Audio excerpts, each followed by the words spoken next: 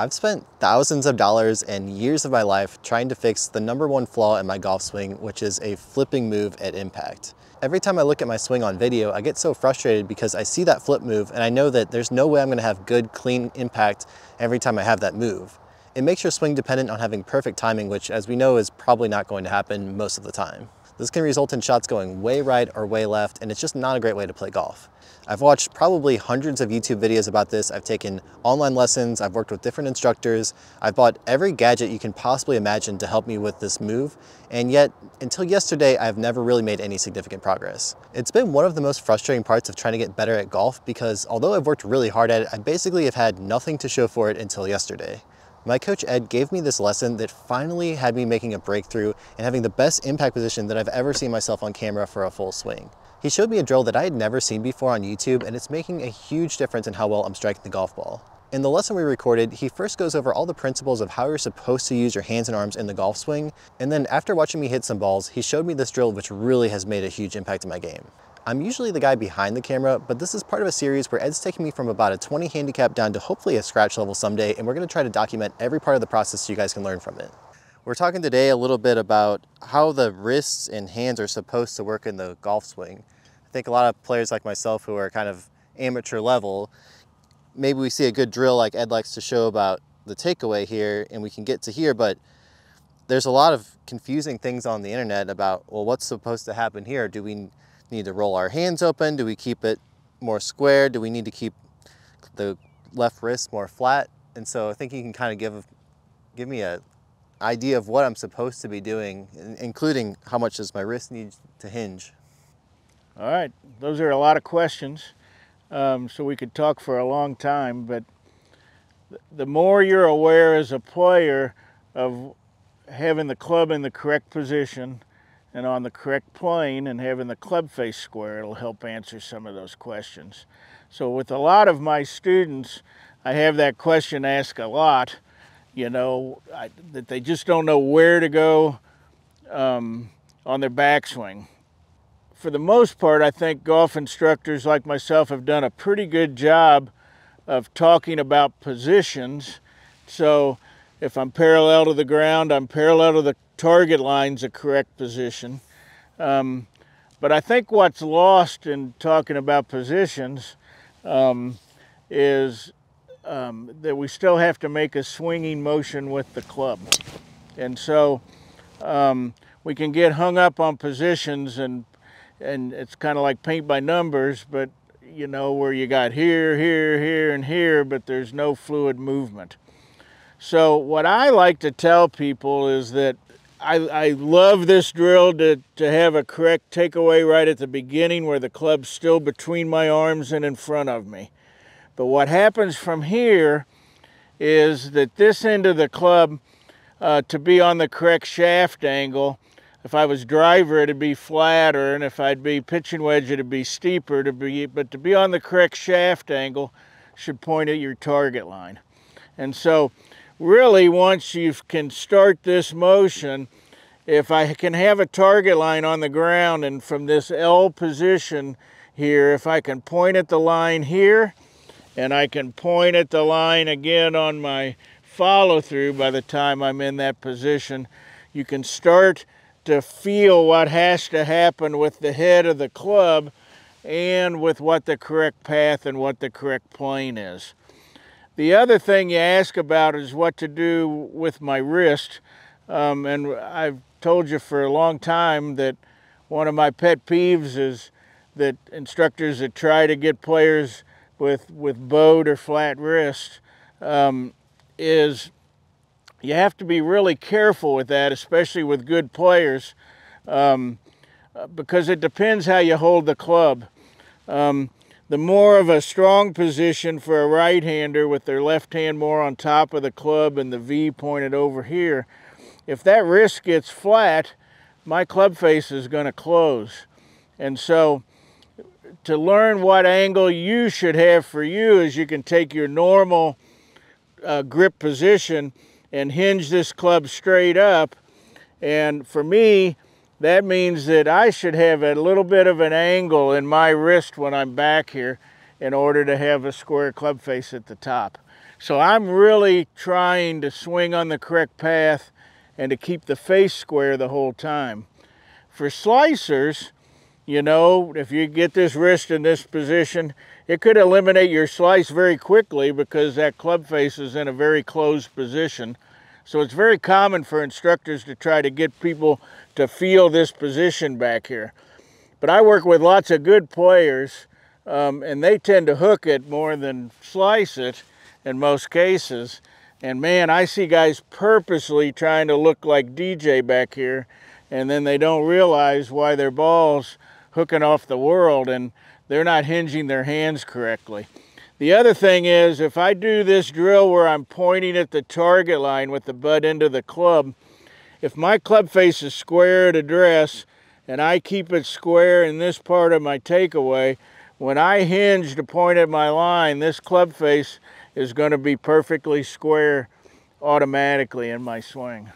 Does that help you? It does. Is that what you're looking for? Yeah, one of the things I get confused about myself, and we've talked about this uh, before in our own private lessons, is the idea of, of kind of this motion where I get confused about my my arm rotating versus um, the club face, because I, I know we we don't want the club to roll open and close necessarily.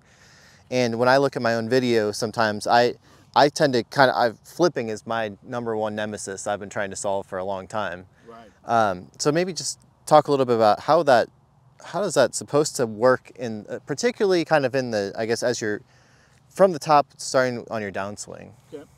Um, great question. Um, I, I do believe there's arm rotation uh, on the downswing. Um, and you need it in order to keep the club in front of us as our body starts to turn towards the target.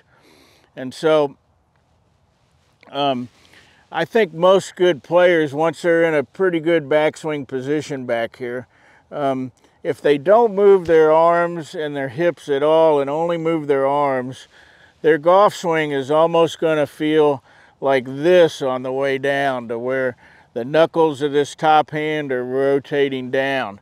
Um, it doesn't look like that when they swing because as their hips go forward and their chest goes forward, and I do that at the same time, it kind of blends that motion out.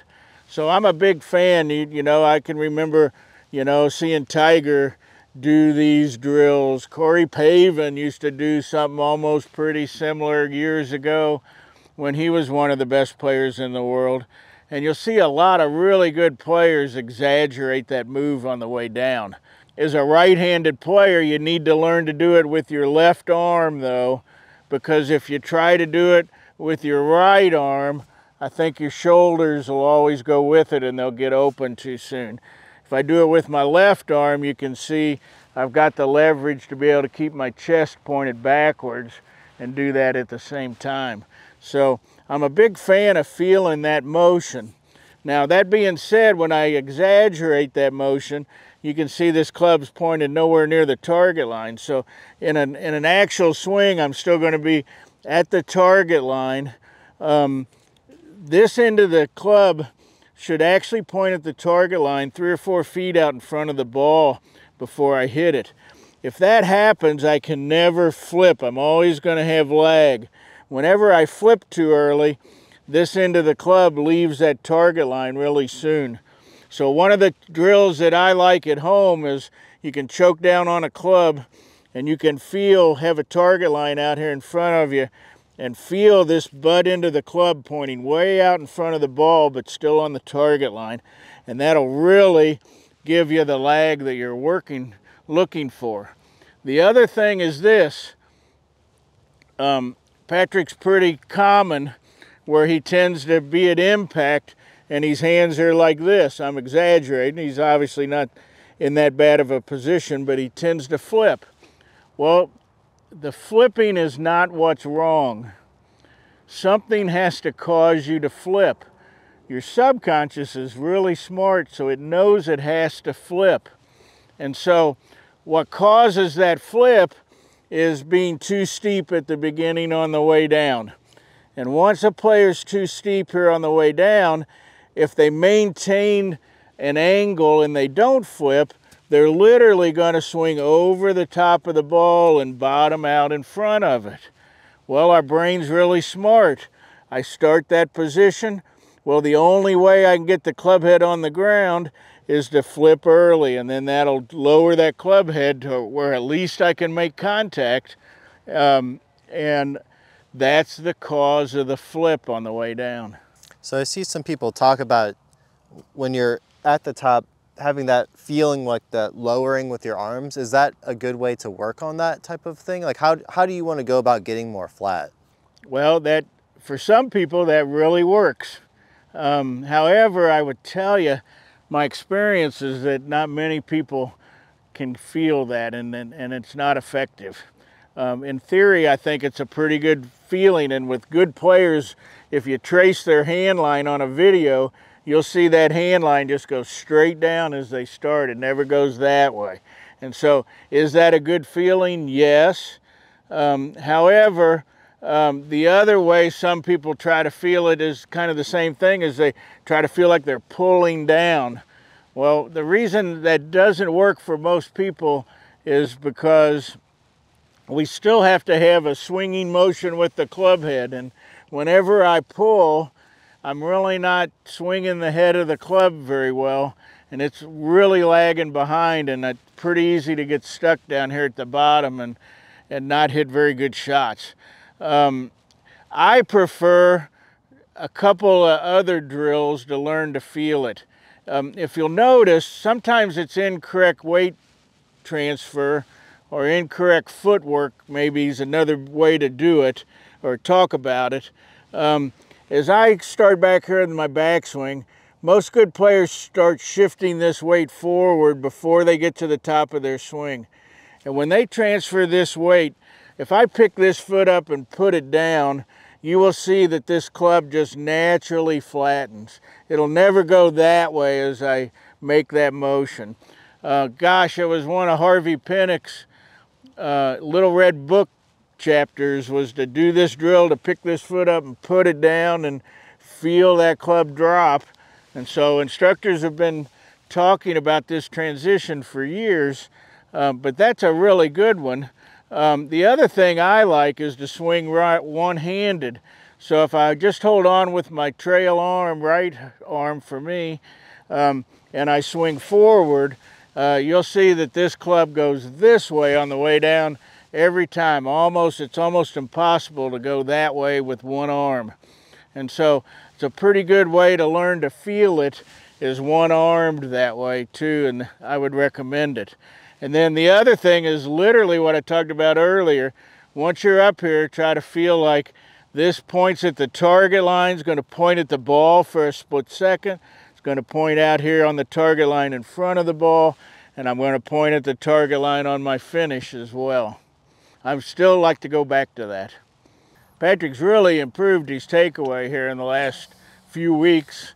Um, kind of showing what you used to do going back. You used to rotate going back. More more of this kind of.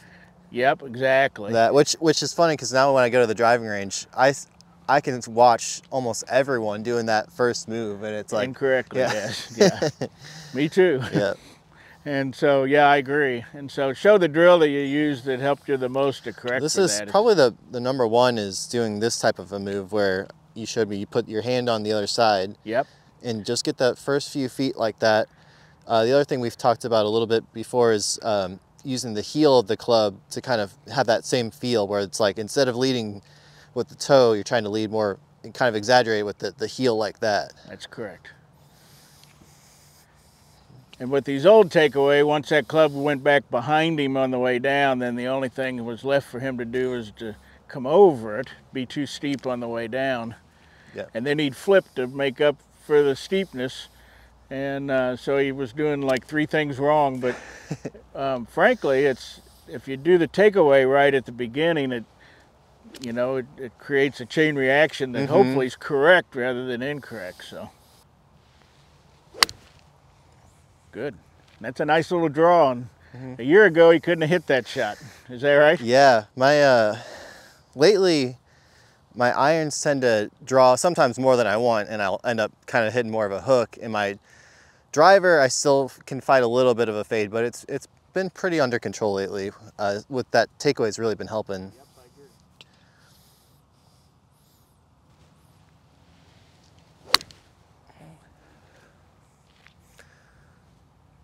A little more to the right on that one. It's okay. These first two shots of the day, so he's not loose, so he's actually doing quite well.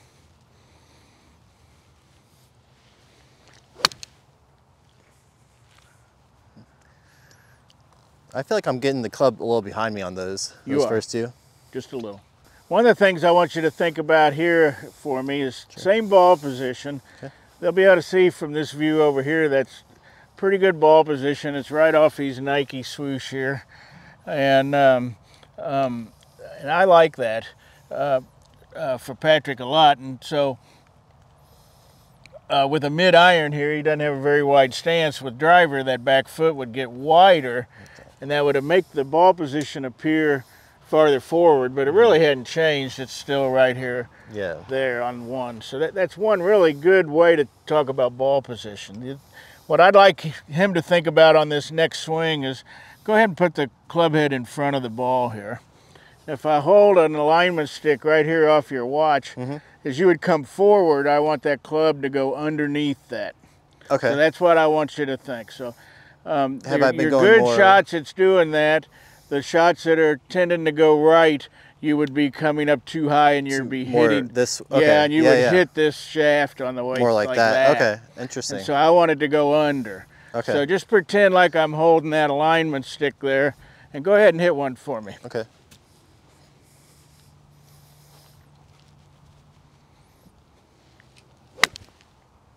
Good. Do it again. Mm-hmm. That motion felt a little different. Good. I liked it. So do it. Do it again. And you're going to do it with your arms and not your hands. If you do it with your hands too much, you'll hook it doing that. But Okay. just do it with feel like your arm swing and body turn swinging under that alignment stick. See, that should have felt really good. Yeah. Right? Yeah. And I, can can even- tell I the could feel in my like my abs use are used more in that swing. Yeah, good. Well, Yeah. it should be. You're right. So that was great. So just keep doing that.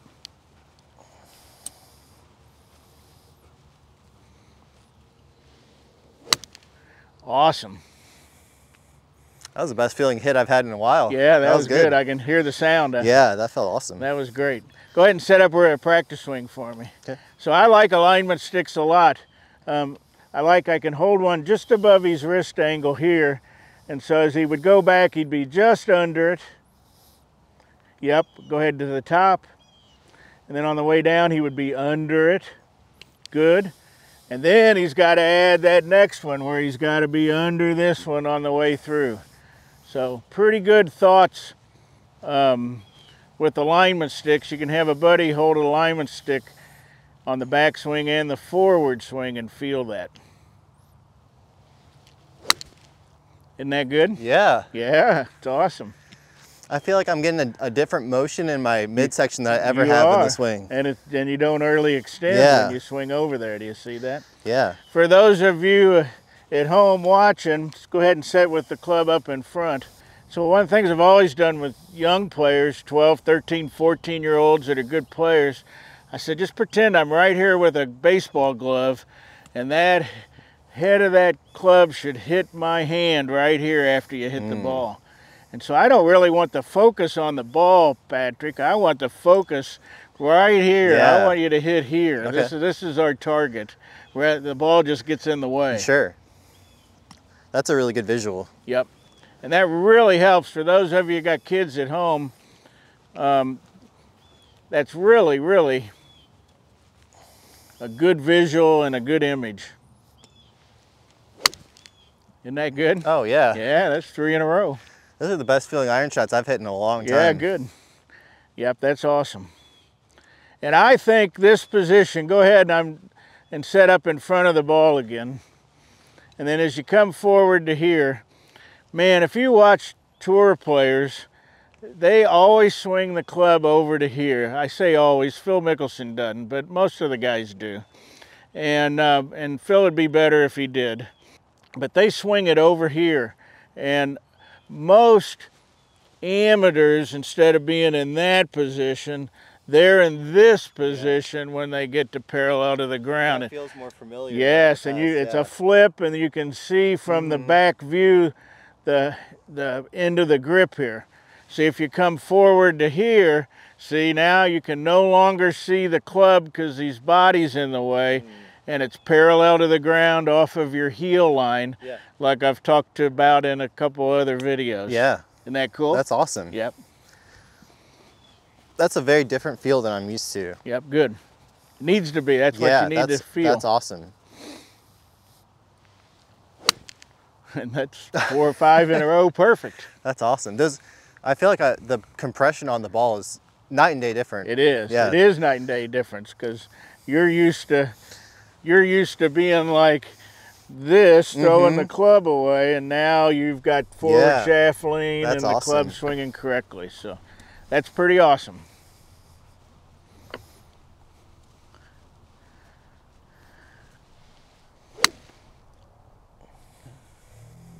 And the other thing for most players, um, you'll find it eliminate the shot to the right. Yeah, all of those have been slight Yes. little draws left. I know, Yeah. and so that's the secret to golf is just having one miss, not two. Yep.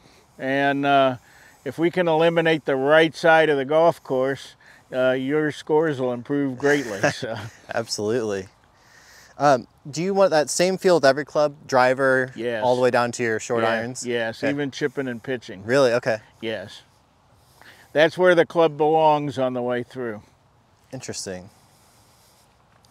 And I like that having a forward swing thought um,